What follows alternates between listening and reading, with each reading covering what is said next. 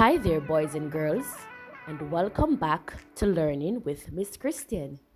Today, we will be looking at adaptation of animals and plants.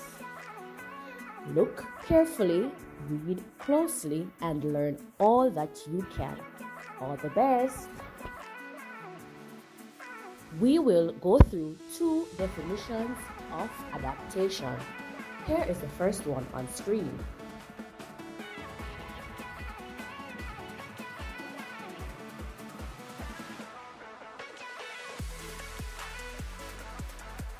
Here we have definition 2.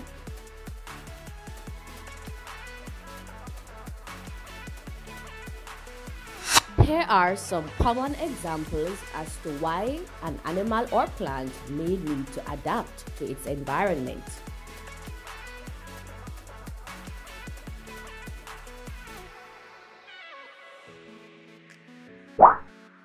I hope you are ready as we will be looking on the adaptation processes of these animals and plants. In addition, we will be looking at some other examples of everyday life adaptation for various other animals and plants that you might find interesting. Let's begin.